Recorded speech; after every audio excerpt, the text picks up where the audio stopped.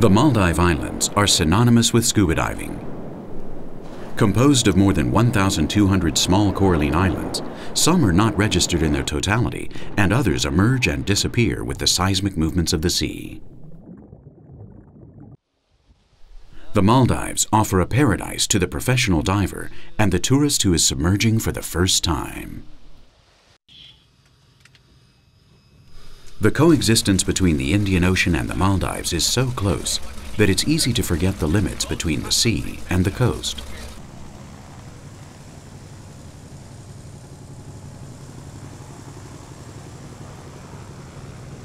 Grouped in 25 atolls, only 200 islands are inhabited, and 65 of them dedicated exclusively to tourism.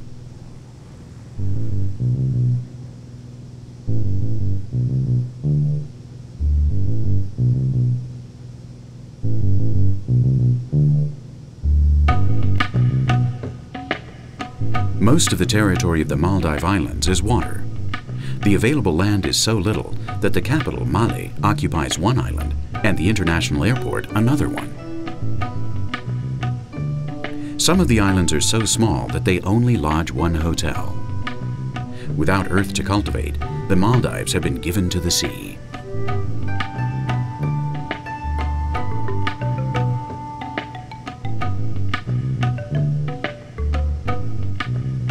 The Maldive Islands are the lowest country on the planet.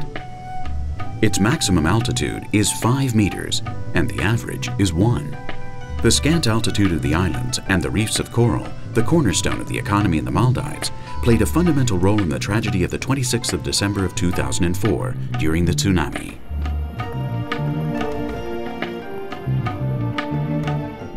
The absence of the continental shelf allowed the waves not to push upwards, so they just went over the earth. Meanwhile, the coral acted as a filter, like a giant strainer that undressed the waves of their energy. Although the Maldives were close to the epicenter of the tidal wave, the number of deaths was far below those of distant countries. The coral, unknown to the world of the surface, saved countless lives.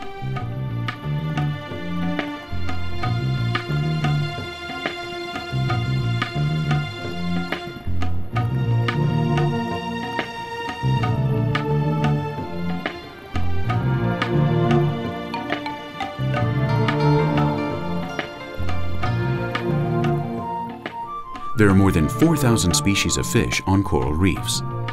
Only in the Maldives there are more than 900. The diversity decreases when we move away from the tropical zone and from distant islands to the continental shelf and small islands. But in the Maldives, the diversity is formidable.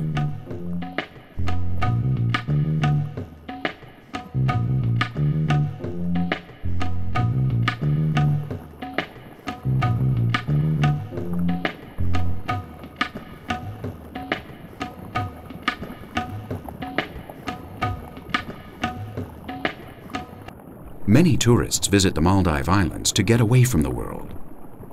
The calm of their waters and the diversity of species invites us to discover an overflowing submarine world for the first time.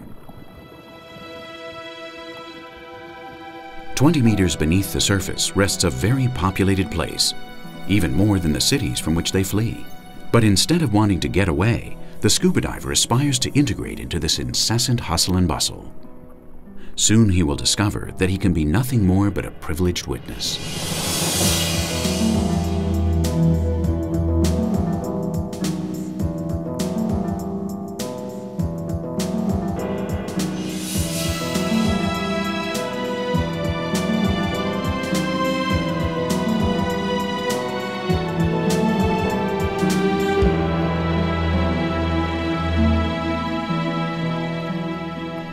There are dozens of varieties of butterfly fish, very different from each other, but all of enormous beauty. Within this large family, the most honored, thanks to its particular morphology, is the solitaire cocker butterfly fish. In schools of fish or individually, they don't cross great distances, but feed themselves and defend a concrete territory of coral.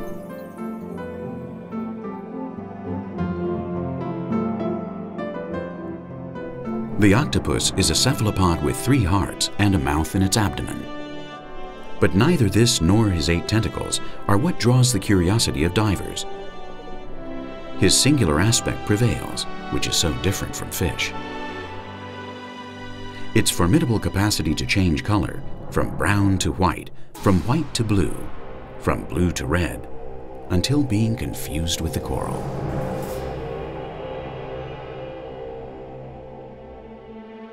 Turtles have neither camouflage nor speed like the octopus, but their shells allow them to swim safely, if parsimoniously.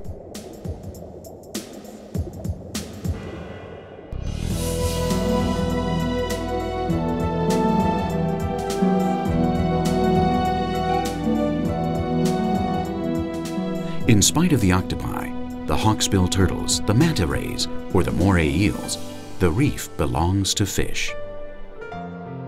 It belongs to the clown triggerfish, to the great schools of fish, and to a countless number of species.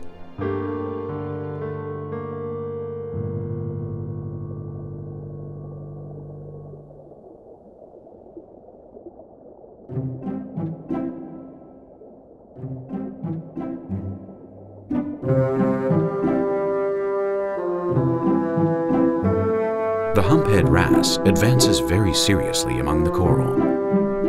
He knows that very few predators can endanger his almost 200 kilograms of weight and more than 2 meters of length.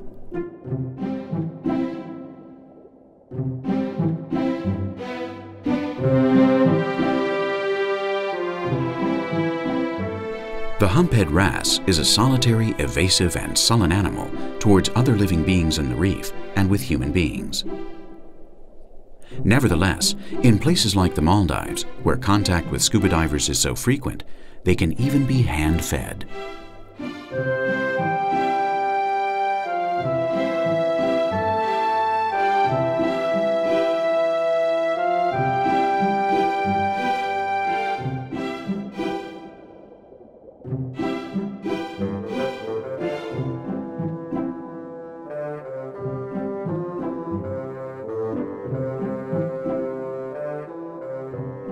When it reaches adult age, the humphead wrasse undergoes a change in its appearance and in its behavior. The two stripes that decorated their eyes give way to the hump on their forehead, even though they look for a grotto to serve him as refuge to spend the night.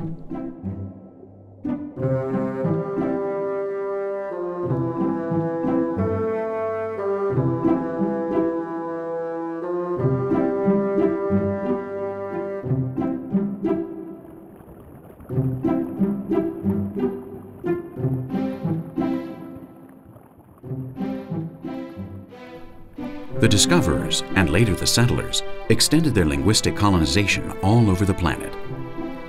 There are few that ask the native for the native name of their surroundings. Locally named the Napoleon fish, how was the humphead wrasse called before the French Revolution? The camouflage of the octopus is so perfect, it's hard to identify it in this image at first sight.